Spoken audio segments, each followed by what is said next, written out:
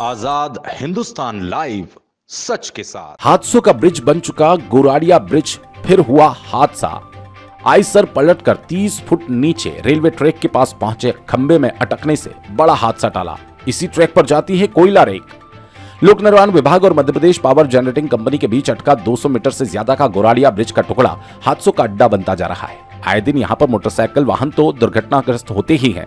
अब बड़ी गाड़ियाँ भी दुर्घटना का शिकार बन रही हैं। गुरुवार सुबह छह बजे के लगभग हादसा हुआ। हरसूद की ओर जा रही आयसर गाड़ी ब्रिज पर दूसरे वाहन को साइड देने के चक्कर में 30 फीट ज़्यादा गहरी रेलवे ट्रैक के पास उतर गई। रेलवे के ट्रैक पर जाने की जगह पर पोल पर अटक गई, जिसके चलते बड़ा हादसा हो गया टल गया। अगर आइसर रेलवे ट्रैक पर पहुँच जाता और समय कोयला रेक आ जाता, बड़ा हादसा हो जाता। वहीं घटना की जानकारी लगते ही पावर जनरेटिंग कंपनी के कर्मचारी जो ट्रैक का मेंटेनेंस करते हैं, पहुँच गए।